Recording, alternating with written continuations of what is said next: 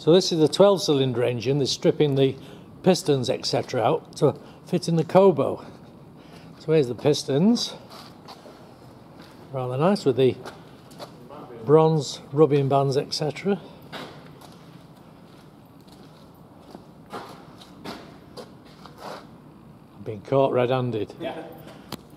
How do you do? How do? you?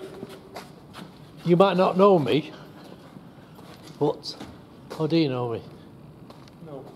Right.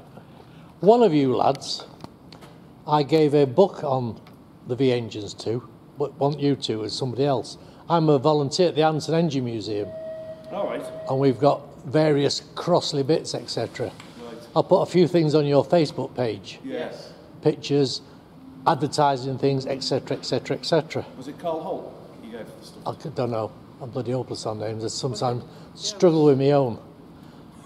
I, I was involved in getting the two spare engines for the HiMac, Right. Hymek even. Yeah. Yeah, Oh, from the York Scrapyard? yeah. Right. I know a lad who's a driver there, and he said, These two engines are coming, sent me his picture, looked at them. I thought, they're bloody IMEC engines, or similar IMEC engines, etc. Yeah, Yeah. All right. yeah, so, yeah.